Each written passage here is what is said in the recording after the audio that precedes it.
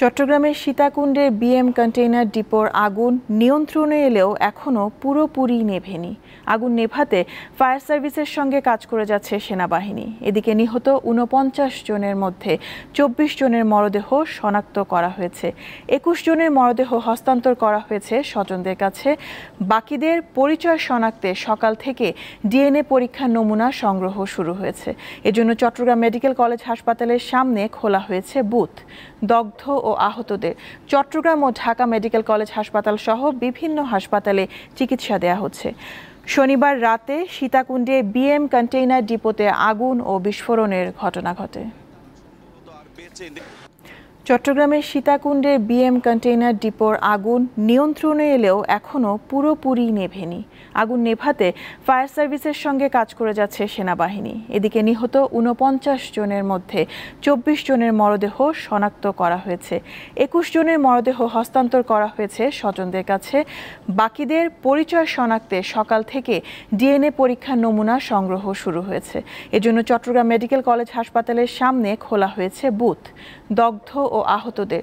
চট্টগ্রাম ও Dhaka medical college হাসপাতাল সহ বিভিন্ন হাসপাতালে চিকিৎসা দেয়া হচ্ছে। শনিবার রাতে সীতাকুণ্ডে বিএম কন্টেইনার ডিপোতে আগুন ও বিস্ফোরণের ঘটনা ঘটে। চট্টগ্রামের সীতাকুণ্ডের বিএম কন্টেইনার ডিপোর আগুন নিয়ন্ত্রণে এলেও এখনও পুরোপুরি নেভেনি। আগুন নেভাতে ফায়ার সার্ভিসের সঙ্গে কাজ করে যাচ্ছে সেনাবাহিনী। এদিকে নিহত উনপঞ্চাশ জনের মধ্যে চব্বিশ জনের মরদেহ শনাক্ত করা হয়েছে। একুশ জনের মরদেহ হস্তান্তর করা হয়েছে স্বজনদের কাছে। বাকিদের পরিচয় শনাক্তে সকাল থেকে ডিএনএ পরীক্ষার নমুনা সংগ্রহ শুরু হয়েছে। এজন্য চট্টগ্রাম মেডিকেল কলেজ হাসপাতালের সামনে খোলা হয়েছে বুথ। দগ্ধ ও আহতদের। চট্টগ্রাম ও ঢাকা মেডিকেল কলেজ হাসপাতাল সহ বিভিন্ন হাসপাতালে চিকিৎসা দেয়া হচ্ছে। শনিবার রাতে সীতাকুণ্ডে বিএম কন্টেইনার ডিপোতে আগুন ও বিস্ফোরণের ঘটনা ঘটে। চট্টগ্রামের সীতাকুণ্ডের বিএম কন্টেইনার ডিপোর আগুন নিয়ন্ত্রণে এলেও এখনও পুরোপুরি নেভেনি। আগুন নেভাতে ফায়ার সার্ভিসের সঙ্গে কাজ করে যাচ্ছে সেনাবাহিনী। এদিকে নিহত উনপঞ্চাশ জনের মধ্যে চব্বিশ জনের মরদেহ শনাক্ত করা হয়েছে। একুশ জনের মরদেহ হস্তান্তর করা হয়েছে স্বজনদের কাছে।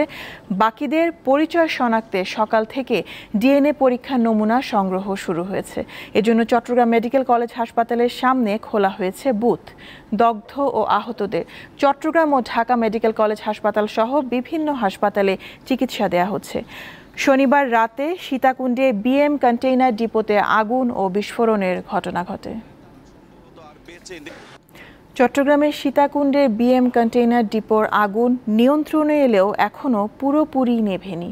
আগুন নেভাতে ফায়ার সার্ভিসের সঙ্গে কাজ করে যাচ্ছে সেনাবাহিনী। এদিকে নিহত উনপঞ্চাশ জনের মধ্যে চব্বিশ জনের মরদেহ শনাক্ত করা হয়েছে। একুশ জনের মরদেহ হস্তান্তর করা হয়েছে স্বজনদের কাছে।